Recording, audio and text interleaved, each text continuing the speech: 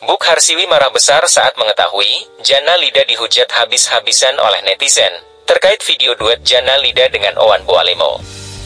Pimpinan tertinggi Indosiar tersebut belak-belakan mengatakan dirinya sangat kecewa dengan tindakan dari para netizen itu. Seperti yang diketahui, tangisan Jana Lida seketika langsung pecah saat membaca komentar-komentar julid dari netizen dalam unggahan videonya saat berkolaborasi dengan Owan Boalemo. Jana Lida diserang habis-habisan oleh warganet lewat komentar di kanal YouTube pribadinya.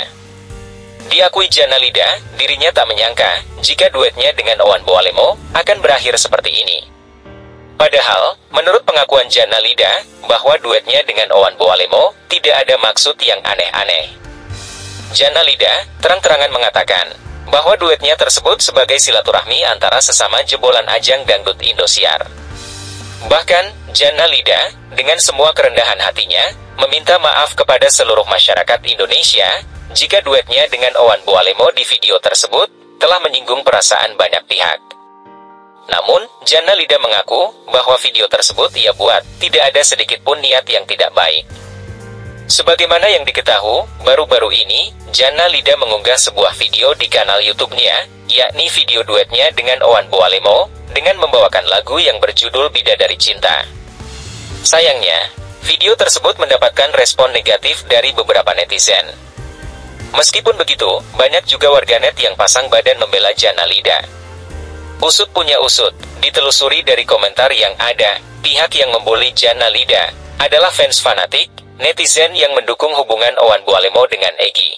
Sebelumnya, sebagaimana yang diketahui, Owan Boalemo, kontestan asal Kabupaten Boalemo, Gorontalo berhasil mengalahkan Novia asal Serang, Banten dalam perolehan SMS yang ketat.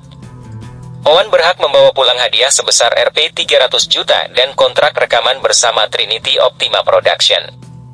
Owan Boalemo lahir pada 14 Januari 1998 di Desa Botumoito, Kecamatan Tilamuta, Kabupaten Boalemo, Gorontalo. Nama lengkapnya adalah Owan Haryanto Tuna. Ia merupakan anak kedua dari empat bersaudara. Ayahnya bernama Tuna dan ibunya bernama Ana. Owan menempuh pendidikan dasar di SDN 1 Botumoito, kemudian melanjutkan ke SMPN 1 Tilamuta.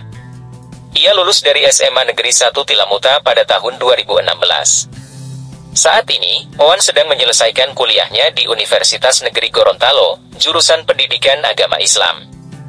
Owan memiliki hobi menyanyi sejak kecil. Ia sering mengikuti lomba-lomba menyanyi di tingkat sekolah dan daerah. Owan juga aktif mengajar mengaji di kampungnya. Ia bahkan pernah menjadi juara satu lomba adzan di Kabupaten Boalemo. Selain itu, Owen juga membantu ayahnya sebagai nelayan. Ia tidak segan turun ke laut untuk mencari ikan. Owen mengaku bahwa pekerjaan sebagai nelayan sangat berat dan penuh risiko.